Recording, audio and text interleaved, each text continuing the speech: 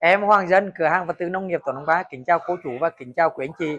Hôm nay em Hoàng Dân xin chia sẻ một video nói về thuốc trừ cỏ chuyên cho mì, cho đầu.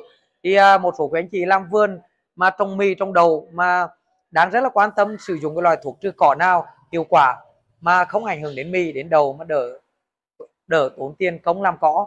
Thì hôm nay em Dân xin giới thiệu cho quý anh chị cái sản phẩm thuốc trừ cỏ mì đầu là dòng Maruca này là dòng thuốc trừ cỏ tròn lọc chứ cỏ tròn lọc có nghĩa là quý anh chị khi phun sản phẩm Maruca này lên cho mì, cho đầu phiến phủ đều không ảnh hưởng đến mì, đến đầu mà chết các loài cỏ chết các loài cỏ. Thì đó là những loài cỏ nào? Thì đó là những loài cỏ như cỏ lông vực này, cỏ túc này, cỏ măn trâu này, cỏ đuôi phùng, cỏ lúa dai cỏ ống, cỏ chấn ga, cỏ chỉ và cỏ mỉ nhớ quý anh chị. Đó là sản phẩm Maruca đây trong trong cỏ tròn lọc. Thì Maruca này á là quý anh chị phun phủ đều nhé phủ đều trên mì trên đầu mà không ảnh hưởng đến đến cái trồng mà lái chết các loài cỏ lá dai. Lá dai nhá quý anh chị lá dai.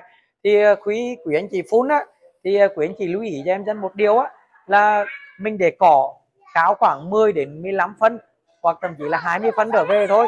Chứ đừng để cỏ cao quá là là phun nó không chết. Thì uh, quý anh chị trồng mì là một số quý anh chị là diện tích rất là lớn. Mà nếu mình đi làm công á, rất là tốn kiêm và mất thời gian thì quý anh chị mua ngay sản phẩm này quý anh chị phun cho em dân. Thì uh, cái sản phẩm Maroka em dân đã bán tại cửa hàng được.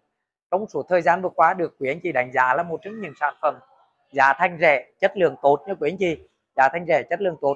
Cái sản phẩm Maroka này á quý anh chị phái em dân á là 100 lít nước 100 lít nước cho cho một chai này. Giá em dân bán tại cửa hàng là 90 ngàn một chai thôi quý anh chị. Giá rất là rẻ đúng á thì uh, quý anh chị nào quan tâm thì có thể liên hệ cho em dân trên số điện thoại trên màn hình thì hôm nay em dân chia sẻ cái dòng cỏ chọn lọc tuyến cho mì cho đầu. Thì ngoài tác dụng mà xịt cho mì cho đầu thì quý anh chị có thể phun cho em là dòng khoai lang cũng phun được này, bắp phú này, củ cải thì quý anh chị cũng phun được nhé phun phủ đều. Đó là Maruca sẽ giải quyết cho anh Quỳ những cái cỏ lá dài là chết hết. Đó, thì video đến đây là kết thúc. Em xin xin chào quý anh chị, hẹn quý anh chị trong những video tiếp theo.